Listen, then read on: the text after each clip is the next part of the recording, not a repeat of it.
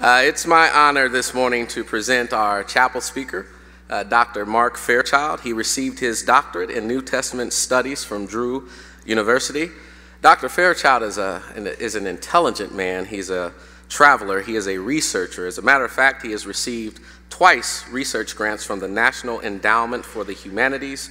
Uh, he has recently discovered two previously unknown ancient synagogues in the country of Turkey, including the world's oldest known synagogue. And he had information on this research published in the Biblical Archaeology Review in 2012 and in the Journal of Ancient Judaism in 2014.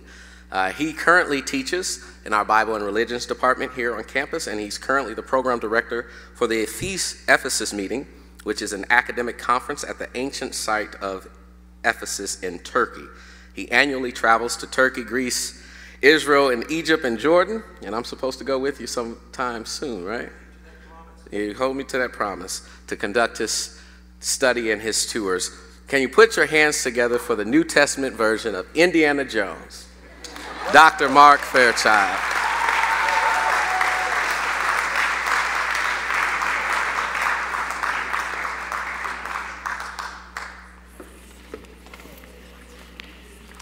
What a treasure we have with Arthur. Love that guy.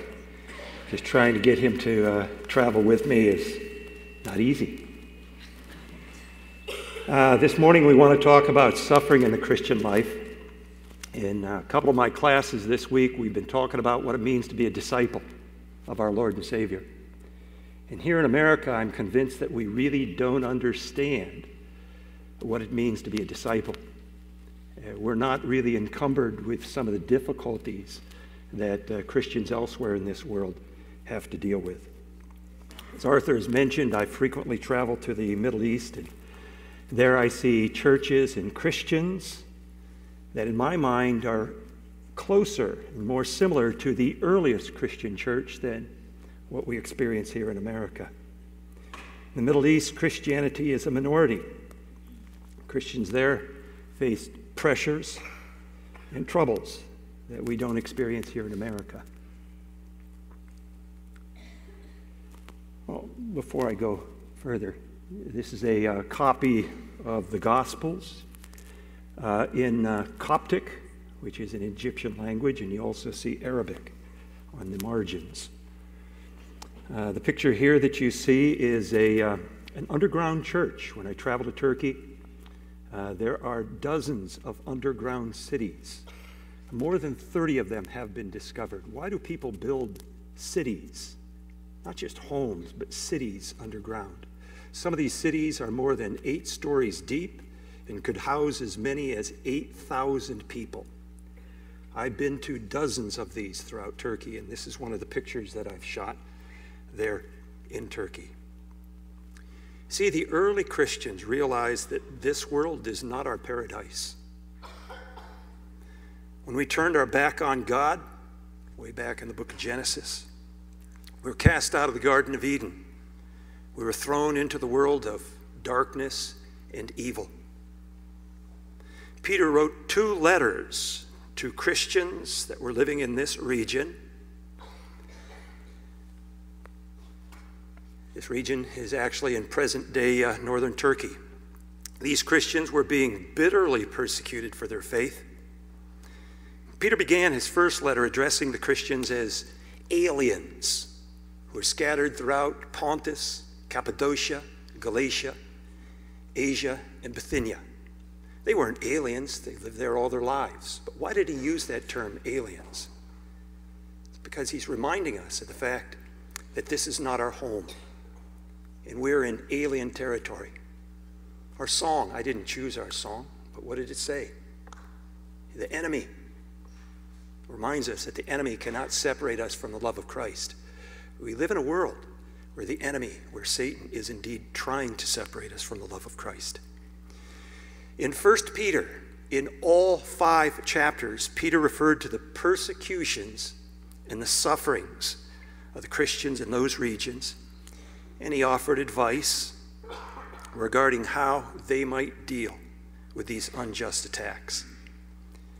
In the three centuries after Christ, the persecution continues and many of the Christians fled underground. So as you see on the screen in 1 Peter chapter 2, Peter says, You have been called for this purpose, since Christ also suffered for you, leaving you an example to follow in his steps. Think about that. You have been called for this purpose.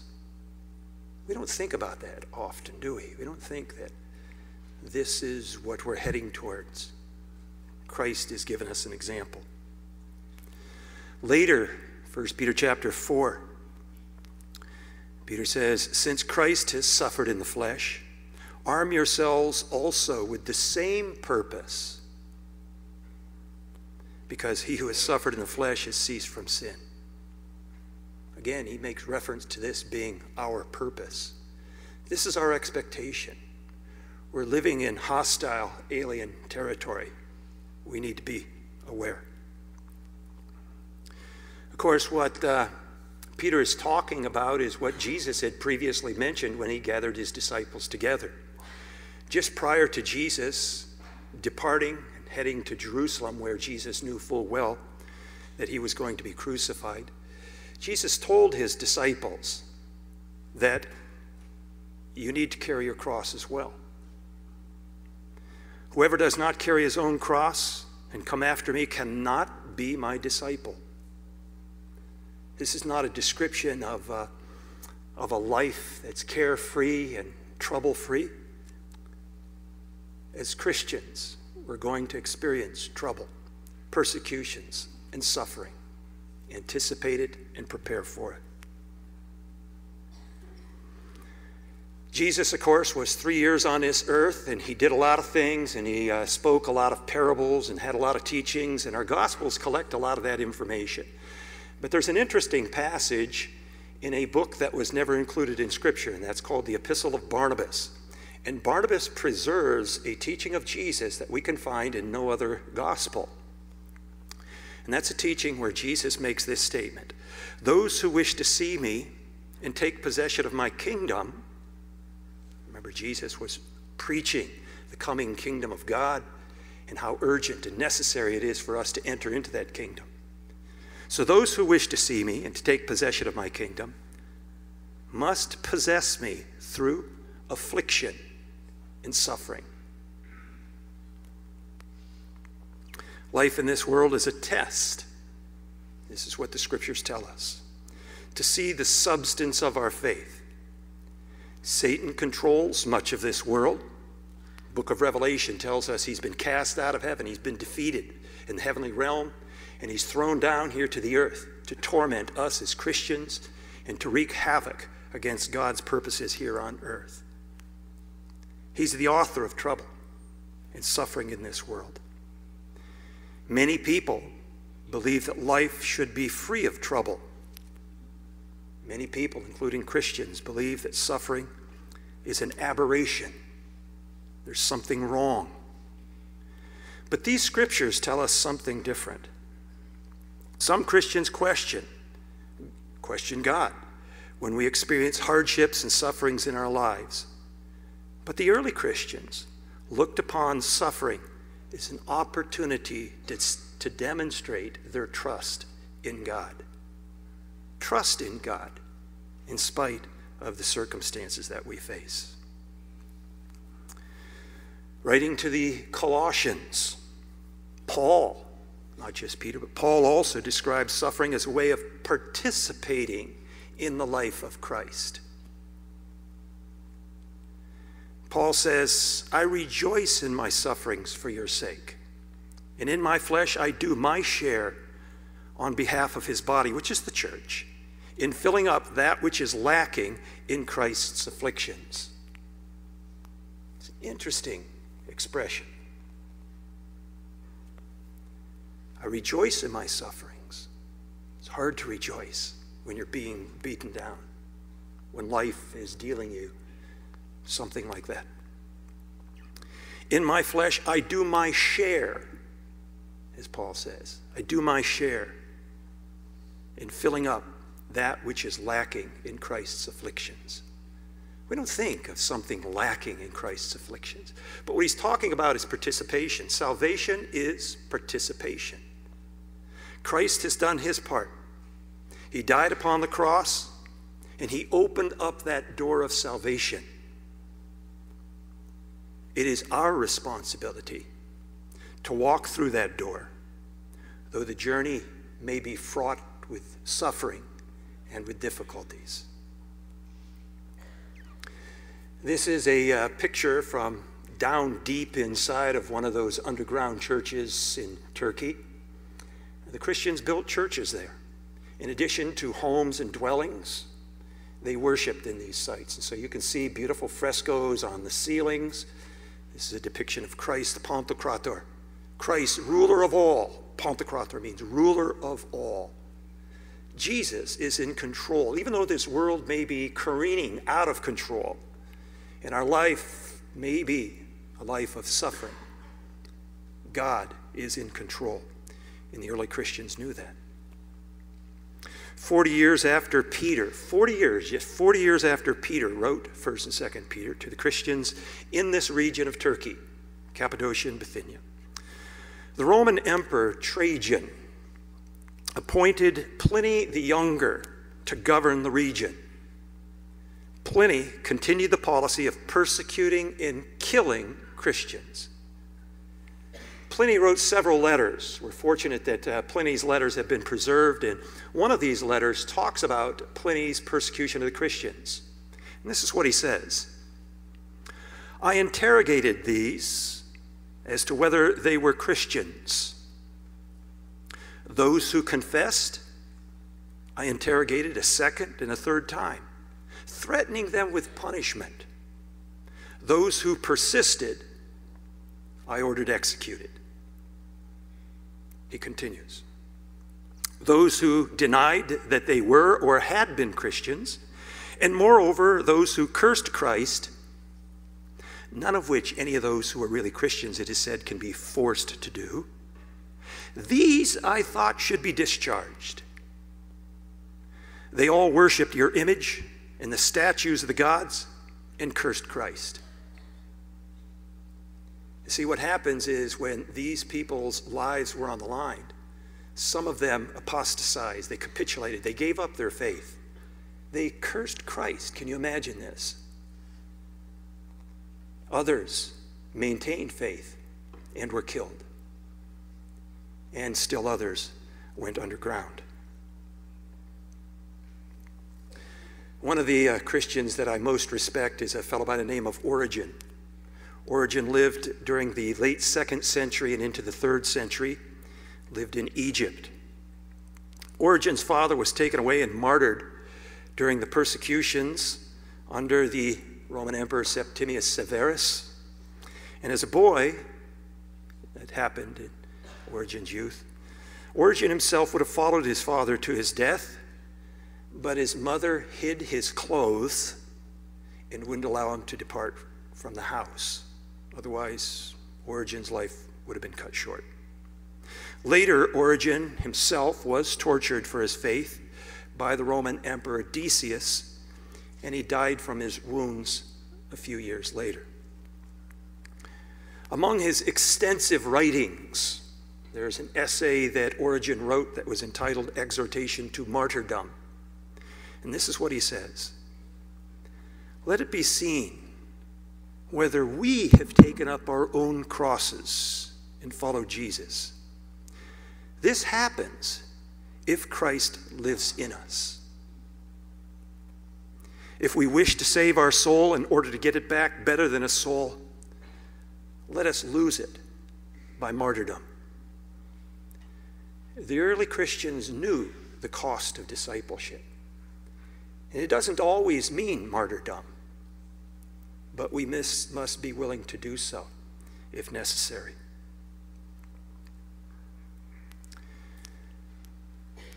About 15 years ago, I uh, spent time in Turkey. Most of you know I spend a lot of time in Turkey. I'm there every year. But uh, during this particular period of time, the church that I was attending in uh, Izmir, Izmir is ancient Smyrna, mentioned in the book of Revelation. One of the members of that church um, was slaughtered by Islamic jihadists. His name was Necati Aydin. Necati had gone to eastern Turkey to distribute Christian literature, and he was butchered by Islamists who pretended to be interested in Christianity. Turkey's a safe country, so this doesn't happen very often. Even though it's 99% Muslim, most of the Turkish people are very secular Muslims. They don't go to the mosque, they don't read the Quran, they don't practice the Islamic faith. But the persecution of, the persecution of Christians does take place when there are confrontations, and in some instances in Turkey, and more commonly throughout the Islamic world. The uh, picture that I took this is the picture. I took several pictures actually. Um, I was surprised when I went to the funeral. The place was absolutely packed. I didn't realize there are so many Christians in Izmir. Well, in fact, there aren't that many uh, Christians in Izmir. But many of the non Christian citizens came out to show their support for Necati Aydin. What you'll also see, if you look carefully at the uh, photograph, you'll see that there's a lot of media. I couldn't believe the media coverage. And this is Turkey making a statement.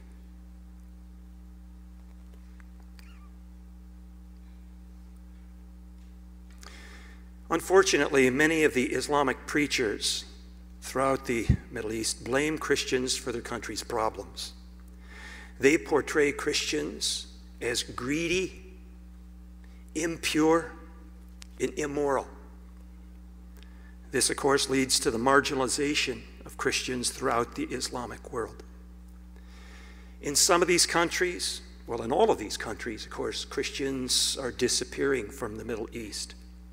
In some of these countries, Christian population has been reduced to one third of what existed 20 years ago realize that the Middle East was the birthplace of Christianity, was the center of Christianity. The greatest theologians came from the Middle East up until the Islamic invasions during the 8th century.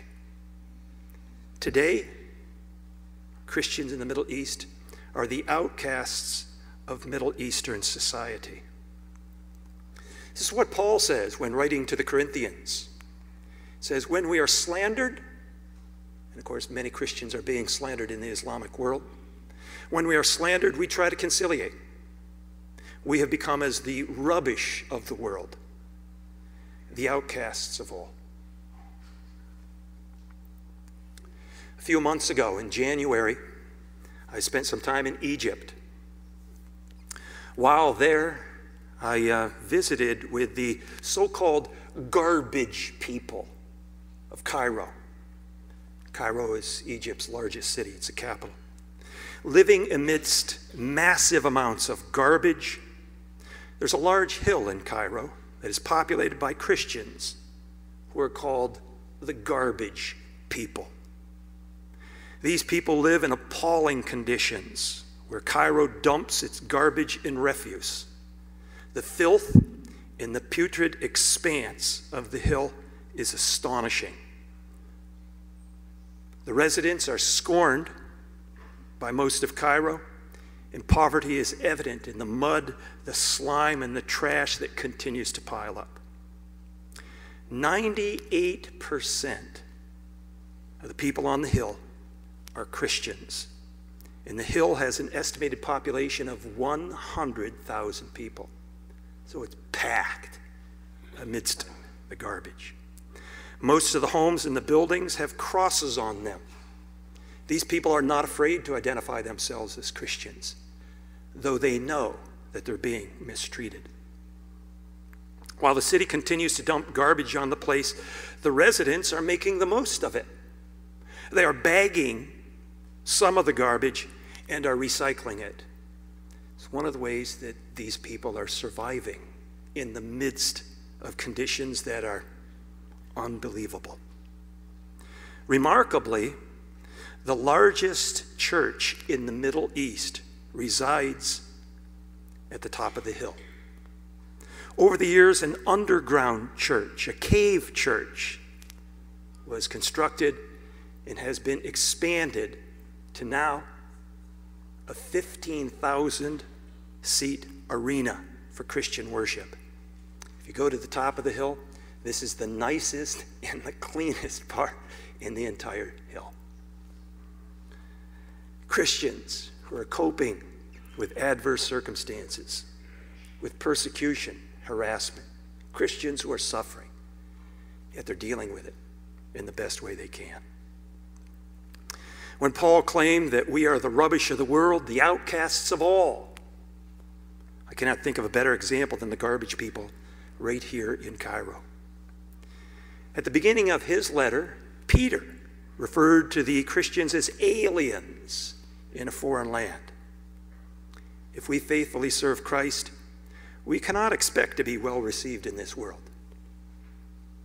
Peter states that what we have been called states that we have been called for this very purpose. Remember the first two verses that I had read. We have been called for this purpose to be light in a world of darkness. You live in a land where it's relatively easy to be a Christian. Christianity, I wouldn't say, is popular in America, but at least nobody's going to attack you for your faith. But think about Christians who are living in these lands, in the Middle East. This is a photograph of that cave church. And like I say, over the years, the cave church has been expanded, it has been enlarged. You can now see seating. This arena seats 15,000 people. Peter explains that these persecutions and distresses are a test of our faith. You see, God has given us some 80 years here on earth. This is not paradise, this is not the Garden of Eden. God is watching us, trying to determine how it is that we handle distressing circumstances. And not all of us are going to be persecuted to the extent that these Christians in the Middle East are persecuted. Not all of us are going to be faced with what the Christians under Pliny the Younger, the Christians who are martyred for the first three years. But you will suffer, and there will be tests of your faith. Our trials and tests won't always cost us our lives, but you will be put on trial. Peter, again, chapter 1, verses 6 and 7, makes this statement You have been distressed by various trials, so that the testing of your faith may be proved. Suffering is an opportunity, it's not an anomaly. It's something that we should rejoice in the opportunity that we have to prove our faith and our trust in God. You see, the sufferings and the persecutions drove the early Christians, we're talking about during the first three centuries, drove the early Christians underground. The sufferings of the Christians in Cairo likewise drove them underground as well. But their faith remained strong, and they emerged from these cave churches to testify to life in Christ.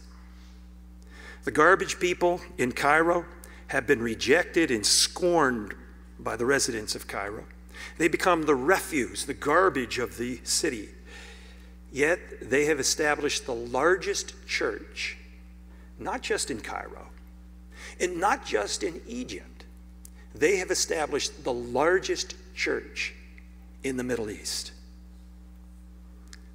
My question to you is when your faith is tested, how will you respond? Some might flee like many Christians have fled the Middle East. The population, the Christian population in the Middle East has been reduced significantly, especially over the last 20 years.